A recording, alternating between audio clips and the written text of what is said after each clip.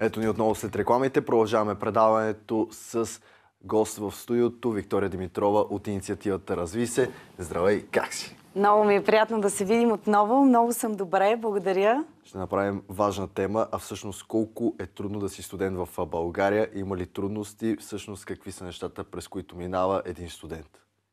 Чудесна тема, да. Мисля, че и сега е най-подходящото време, в което трябва да обсъдим тази тема. Аз като човек, който така има поглед върху събитията в Софийски университет и в УНСС, тъй като водя различни курсове и помагам за студентски програми там, смятам, че България е прекрасно място да си студент. Но, разбира се, можем да влезем в детайли и да обсъдим и Какви други са всъщност предимствата и недостатъците на това да си студент в България? При всички положения, а, така погледа ми показва, че България е една приятна дестинация, включително тази, а, този уикенд, събота и неделя, ще имаме едно занятие за игровизация в обучение на студенти в УНЕСЕ, което е а, на студенти, които са извън България. Тоест, те са избрали България като място, в което те да следват своето висше образование. Плюсовете са в това, че първо сме си по-близко. Второ, нещата, на които се учим, те са, така да се каже, съпоставени с нашата реалност. Много е хубаво, аз имам по-детайлен поглед върху няколко катедри, които са управление и търговия в двата университета. И връзките, които се създават с бизнеса, още на ниво студентство, смятам, че са много важни. И ако ние учим в чужбина, е доста по-трудно да ги изградим още в студентските си години.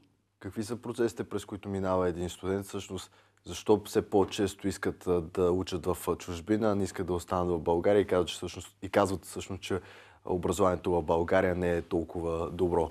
Ами, сега, аз ще говоря през своята призма. Аз съм доктор, т.е. имам а, такава докторска степен. Тя ми е от Български университет, от Университета за национално и световно стопанство. А, и Имам пък и друг поглед на мои ученици, които учат в чужбина и са от най-елитните гимназии в София. Самите те казват, че отивайки в чужбина, просто начина на учене е много по-различен. И всъщност идеята е, че някакси българското образование а, се учим на много неща, но не се учим как да учим.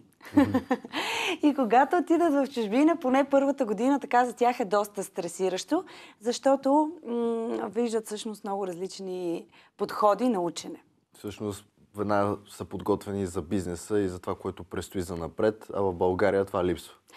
А не мога да кажа, че липсва, защото има специалности, пак казвам, аз съм в доста силно ориентирани бизнес специалности и там а, има хора, които и преподаватели, които доста активно подготвят младите хора, точно за бизнес уменията, които им трябват от първа ръка. Но по-скоро ние сме свикнали да търсим минимума.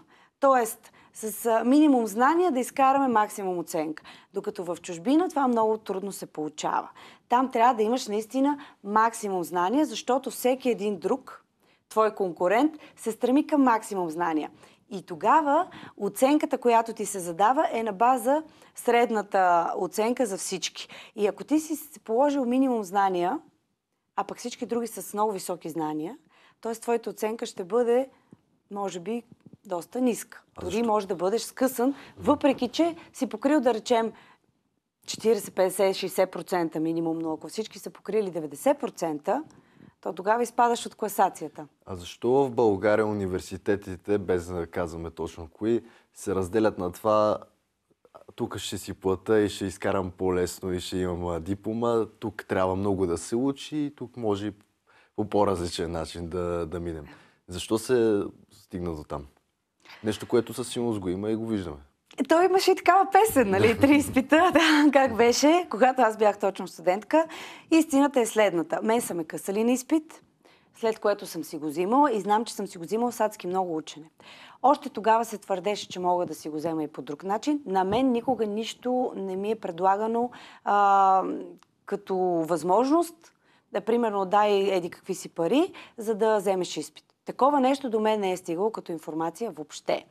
От друга страна, много бях, така да се каже, не знам, нагнетена, да кажем, защото когато правих докторантурата си, много стриктен беше контрол. Нашата катедра е изключително амбициозна катедра търговия в УНСС.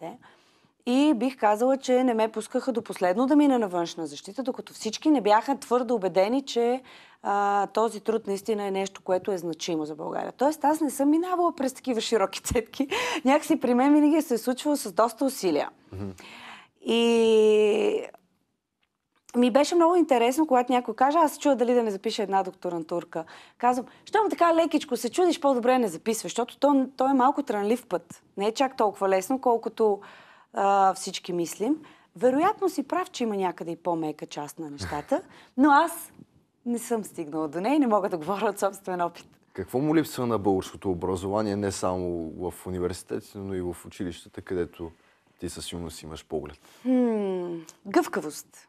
Това е което липсва. Липсва гъвкавост, липсва разбиране и а, амбиция. Mm-hmm. Ние сме свикнали да работим по едни правила от преди години. Даде обаче света се променя не с а, години, а с часове. И ние няма как, без да се адаптираме, да продължаваме да бъдем успешни. Трябва да има дигитализация в образованието и то масово, не просто от време на време. Трябва да има дигитализация, трябва да има сегментация. Добре, няма за да го има това нещо, трябва да има млади учители, които да го мислят наистина и да са с това мислене. Не хората, които са с, от старата школа, така да mm. кажем, да ги настройваме, пренастройваме към това нещо, защото просто няма да го правят автентично и няма да знаят всъщност по какъв начин да го предадат това нещо правилно. Да. Ами, старата школа си има много свои плюсове. Аз работя активно с учители, тъй като им преподавам, сертифицирана съм от Министерството на образование и преподавам игровизация в учебния процес. Или иначе казано как да направят обученията си по-атрактивни за младите хора. А, има така, за, за мое голямо щастие, доста възрастни учители, които добре възприемат подходите. Има обаче и млади, които не ги възприемат чак толкова добре или по-скоро изпитват несигурност да оставят средата да се развива. Факт е, че при 30 ученика, нали, горе-долу, е изключително трудно да, да смениш изначално подхода, изцяло подхода. То трябва да е създадено и това да се започва от първи клас Mm-hmm. Нали? И така да се продължава напред. Дори в а, УНСС, в катедра управление има двама много стойностни преподаватели, баща и син, които буквално обръщат начина на преподаване. При тях всичко става през игри, през предизвикателства. И всъщност мен са ме запалили те, аз да се занимавам с образование в България. И а, никога не съм си мислела, че това ще е пътя, по който ще вървя, нали, след като съм занимавала с високи управленски позиции. Но тяхната страст и начина по който виждам, че при тях се случва, но аз знам колко усилия им коства да обърнат процеса. Така че това е разковничето. Просто ние всички като преподаватели трябва да предложим а, и да положим адски много усилия, но за сметка на образователната програма, която трябва да стане леко по-гъвкава, по-улекотена, защото учителите имат голямо желание да променят начина си на преподаване, но времето много ги притиска. Било то в университета, било то в училище, защото има един минимум от знания и а, материал, който трябва да се предаде и освои. Не са предсрочните парламентарни избори, петите, шестите подред, които а, се провеждат. Отново сме на избори. А, трябва ли младите хора да излезат днес и да гласуват за едно, пораз... за едно правилно наистина а, образование, което да, да им помага за напред, а не просто да ходят в чужбина? и да, да искат да се развиват там? Ами, за мен е задължително да се гласува. Нали, това е наше право и ако ние не го упражняваме, то ставаме а, по някакъв начин ненужни на гражданското общество. Факт е обаче, че все по-трудно намираме альтернативи, нали, за които да гласуваме, но пък трябва да ги търсим. И най-малкото трябва да ги създаваме. Щом не сме доволни от нещо, Тък му тази седмица слушах по радиото как швейцарски баби са подали и съдат Швейцария за това, че не се грижи достатъчно за околната среда и те са в риск да... А, здравето им е в риск. Mm-hmm. Тоест, щом швейцарските баби могат да са активни, какво пречи на нас, младите хора, да бъдем активни? Активни и, и кога сме? ще чакаме? Искаме ли всъщност да се промени нещо? Искаме със сигурност, но някакси повърхността и това, че младите хора го гледат повече на емоции, отколкото реално как да се случат нещата, според мен пречи. Просто защото нямат знания и съм, така емоцията излиза на преден план. Гледаме си в нашата градинка. Когато а, ние се уредим, а младите хора в България, които са с активно гражданско самосъзнание, те определено са и с по-добро образование, а, така включват се в а, различни инициативи, които има в момента за младите хора. Много, много, изключително много неща се правят. И в един момент започват да получават добри а, пари в работата си и някак си спират да виждат общото и гледат само частното, собственото си. Докато ние започнем да гледаме повече общото, mm-hmm. смятам, че нещата ще станат по-добри. За какво ще гласуват днес, според теб? Какво искат младите хора от България? Ами, младите хора искат а, България да им предостави малко или много спокойствие и уреденост. Това, заради което отиват в чужбина, е всъщност тази уреденост, тези правила. Колкото и да се радваме, че в България е по-свободно, всички хора от най-малкото дете обичат да има свобода, но никой не обича да има свободия. Защото в един момент тази свободия може да рефлектира директно върху нас. И всъщност те искат да има едно уредено образование, едно уредено здравеопазване, двата основни стълба и естествено съдебна власт и система, която да работи. Mm-hmm.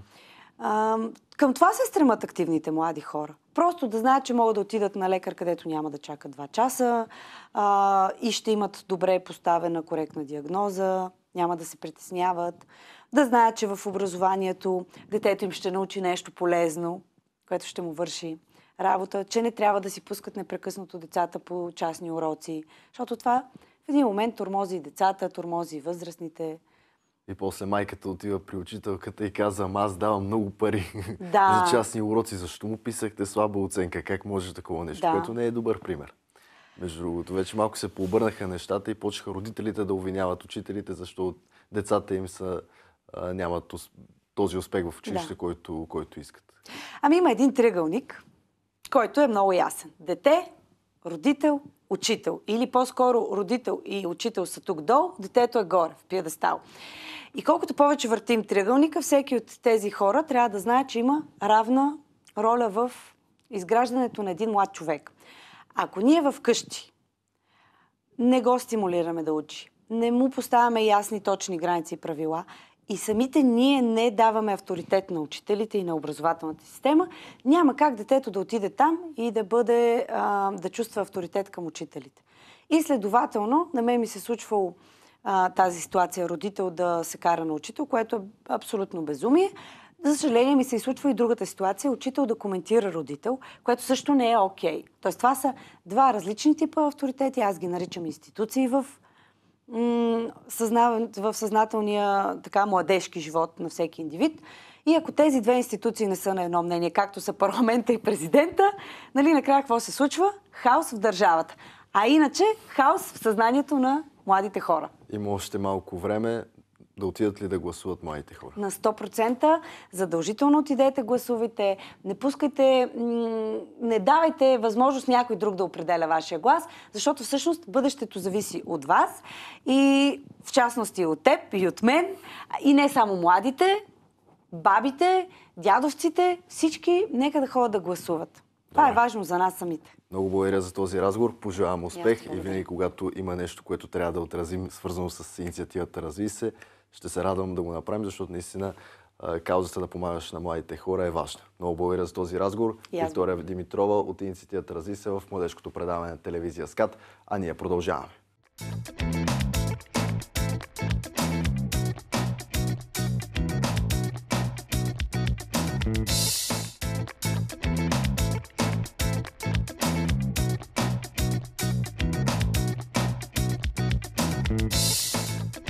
Гледате младежкото предаване на телевизия СКАТ. Днес се намираме пред столичното 51-во училище Елисавета Багряна. Сега ще разговаряме с ученици на училището. Здравейте! Здравейте! Какво е това, което днес се случва във вашето училище? А, това е срещане на учители от нашето училище и учители от цялата страна, които споделят а, практики в а, учебните часове. Учители а, научават а, нови възможности, нови идеи, а, как да преподават а, различни критерии и като цяло нови начини на обучение. Добре, със сигурност ще бъде интересно. Втора инициатива, конференция за преподаване на природни науки. Разкажете ни повече за това. Да, това е втора национална конференция за споделени практики в преподаването на природните науки. Ами, а, това е една много интересна, много важна конференция, тъй като по плана за възстановяване в близките три години ще бъдат отделени 500 милиона лева за обновяване на кабинетите по природните науки. Буквално всяко училище в България ще има много модерно обзаведени кабинети. Това добре. Обаче в тези много модерно обзаведени кабинети трябва да има учители, които да преподават по съвременен начин. Именно това ни е целта. Учители от цялата страна да си обменят а, добри практики, как да се преподава по-интересно за децата, по-инновативно, да им се запалва а, въображението, за да, а, за да може в бъдеще ам, да има интерес към инженерните специалности. Защото брутният вътрешен продукт се прави най-вече от инженерните специалности физика, химия, биология, информатика, математика. Това е така най-общо целта. Виждате ли да има интерес в младите хора, в учениците към подобни науки, знания? Запалва ли им се вниманието? За наша радост има интерес към информатика, информационни технологии, но за съжаление малък е интереса към предмети като математика, физика, химия, биология. Именно това е целта на, на тази конференция.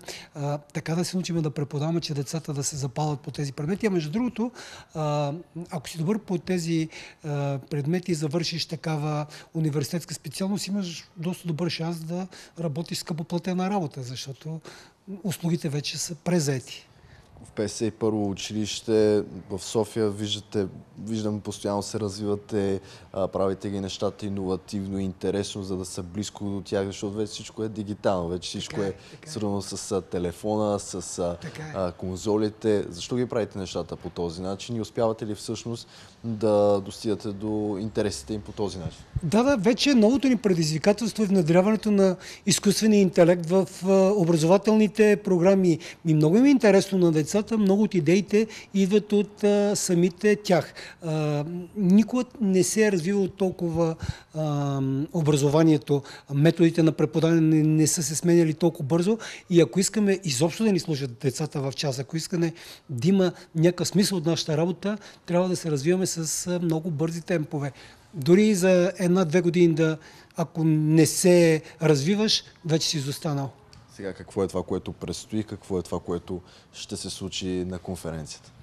Ами на конференцията вие ще видите, е, в момента работят 6, е, така да се нарече, workshop е модерната дума.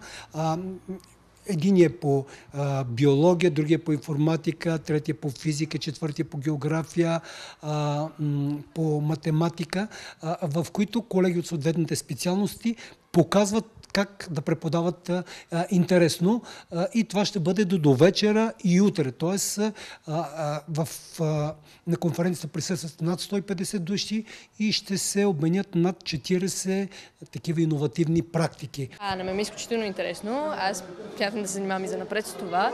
И цялостно проектите, които подготвихме, бяха изключително интересни и се вкара изключително много работа в тях, но всичко си заслужаваше на макс. Мислиш ли за развитие напред да се занимаваш с подобни неща или за момента като извън класна дейност? Мисля да се занимавам с такива неща. Затова ми хареса, че мога да се включа тук и че има тази конференция, за да мога да участвам. Какво е това, което искаш да правиш? А, искам да се занимавам с биология и химия за напред. Интересно е, че наистина се правят нещата доста интерактивно, дигитално. Това ли е пътя към това всъщност учениците да им е интересно, а да им се поднасят нещата просто е и така? Според мен да, понеже новите поколения се нуждаят от повече развитие и това е развитието, което нас ни грабва и това, на което на нас ни е интересно. Господин Стефанов, да ни кажете всъщност какво се случва днес в 51-во училище, какви са нещата, които правите днес? За втори път а, 51-во училище Елисавета Багряна е домакин на национална училищна конференция с поделени педагогически практики в преподаването на природни науки. Повече от а, 150 участници споделят добри практики по химия, география, физика, математика, информатика, информационни технологии, човекът и природата в нашето училище. Целта на форума е да запознае колегите от различните градове на България, кой как работи, какви методики, инструментариум използва и всеки да си грабне това, което му е нужно и което му е липсвало до момента. Има ли интерес в младите хора се занимават с такива неща, наистина да достигат до тях?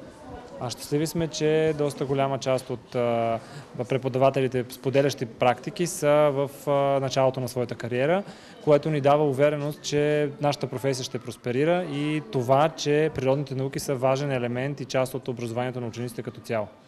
Какво е това, което ще направите наистина да достига до тях, да им се запази внимание? Връщаме внимание на дигиталното, но в нашето училище не сме забравили и а, нормалното обучение на учениците, което е с учебници, което е с ресурси, което е с учител, което е най-важно. Учителят е главният фактор за образованието на един ученик и използваме този ресурс активно, развиваме го, квалифицираме го и затова нашите преподаватели са едни от най-добрите в България. Какво е това, което искате да достигне до младите хора? На какво искате да ги научите? Учениците на 51 училище. Учениците на 51 училище трябва да знаят откъде да получават информацията. Съвременното поколение, което ние обучаваме в момента, не е това, което ние, когато ние учихме, да ни се дава всяко едно нещо да го научим на изуст и то да бъде възпроизведено веднага. Младите хора и учениците трябва да знаят лесно достъпна информация откъде се намира, каналите и да е проверена тази информация. Как може да бъде проверена от цялото това море от информация, която непрекъснато а, излиза, а трябва наистина да, да успяват да усяват всъщност това, което е важно и което трябва да научат. В крайна сметка а, училището е а, подкрепено с учители и тези знания се проверяват с учителя. Ние насочваме учениците, но в същото време им показваме правилния път, къде да бъде проверено, как да бъде проверено и начина по който да бъде използван тези знания. Какви са разговорите, които провеждате? Вие като заместник директор със сигурност идват при вас. Какво ви питат, от какво се вълнуват? а, не само заместник директор, преподавам предприемачество в гимназиален етап и там, в, точно там се случват тези дискусии, които учат учениците как да оцеляват в реалния живот, в бизнеса, как да организират собствен бизнес, как да го промотират, как да го управляват, как да се продават в кавички своите продукти, които а, изпълняват. А, нашите ученици са високо мотивирани и наистина работа с тях е много лесна. Казвахте, че преподавате предприемачество. Това наистина е много интересно, защото учите наистина младите хора, подготвяте за живота. Нещо, което наистина ще им помага през целия им живот на това да знаят всъщност какви са процесите в бизнеса, как да ги правят нещата там.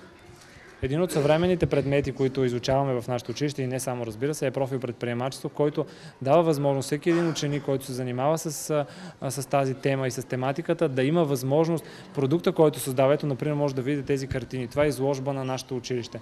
Един художник може да бъде велик и той обаче да запази своите картини вкъщи.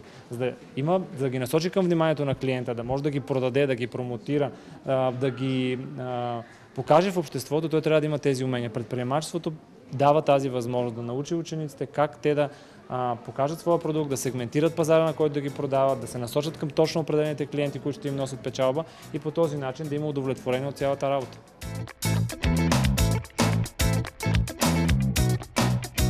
Така завършваме днес предаването. Бъдете с нас отново следващата неделя, точно 14.30, а днес от 19 часа гледайте специалното изборно стои на телевизия СКАТ с ексклюзивни коментари.